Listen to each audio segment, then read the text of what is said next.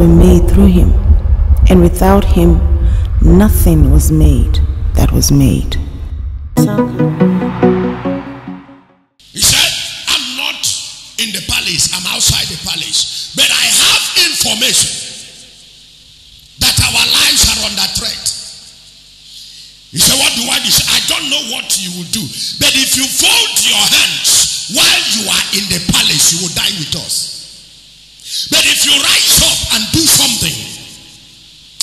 Something will come to pass.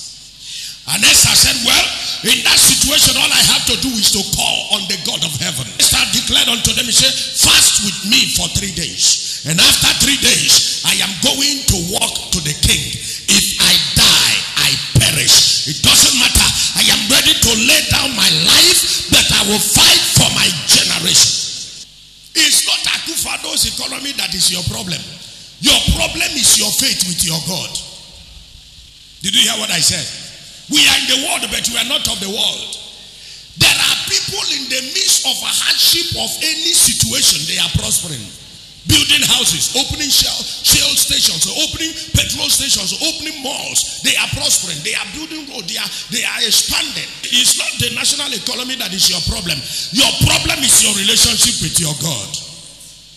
Your problem is how you know Him, how you relate to Him. Why? They that do know their God, they shall be strong and they shall do exploit. Every man have an evil day. Did you hear what I said? Every man, including bishop popes, including presidents, archbishops, everybody, spiritual man, carnal man, there is a there is an evil day that will come. That's what Job was praying that day. He said, A man that is born of a woman is full of many troubles, but all the days of my appointed time, I will wait until my change comes. Every man has a day.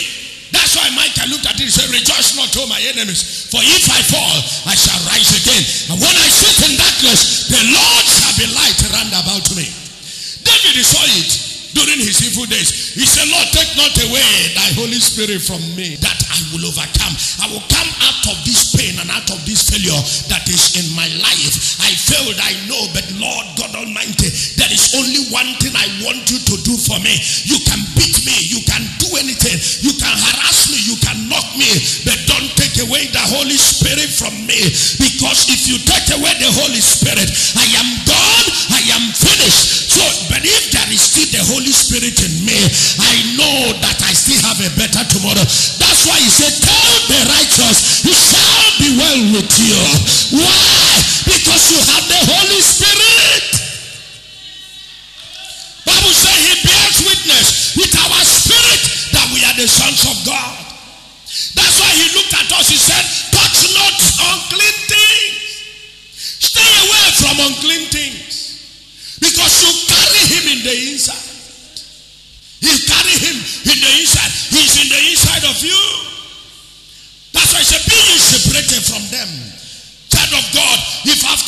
today you still go back to your vomit, you are sick and stupid. Did you hear me? Because the time is tickling. Every day of your life, take yourself in the mirror. You are not the same. And as the time is going, that's how you are going. At the accounting the year, that's how you are drawing closer to your grave. But what are you doing? The same thing that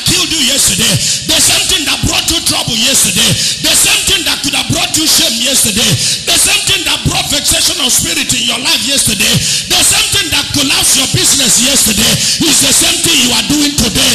Your life is a sick life.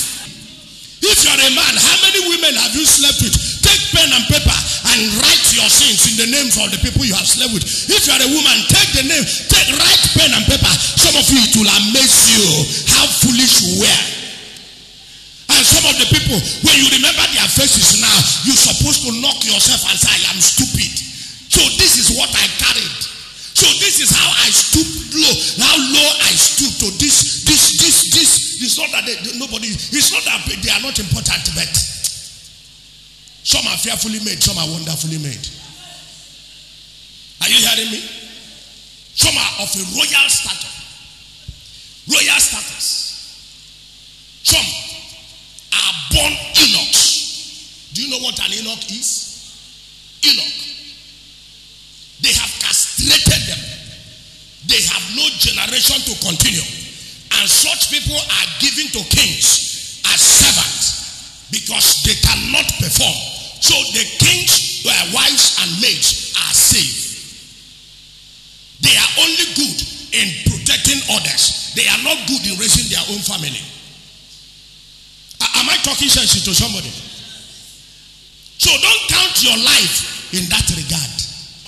All the great men and women of God that stood the test of time were people that said, if I die, I perish. They are the people that said, ah, I, will not go back. I am going forward. They were like the four lepers. They said, if we remain here, we die. If we go to the city, we die. But if we go forward, the enemies are there. We know they are there. We can still die.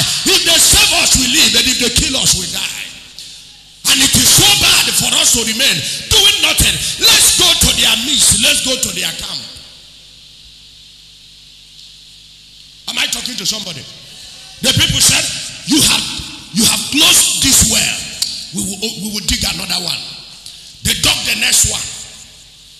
When they dug that one, the people came again. When the people came again, did they stop digging? No.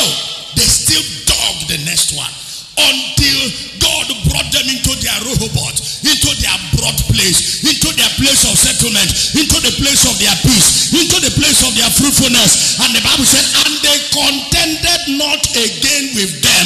I see God settle you this year. I see those fighting you surrender this year. I see those pursuing you returning back to their camp this year. In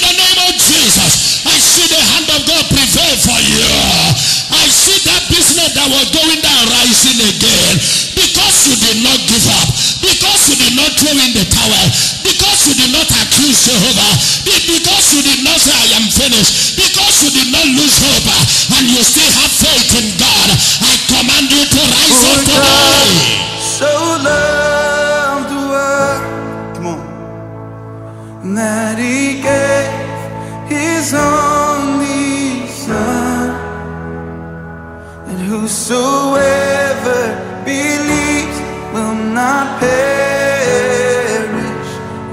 they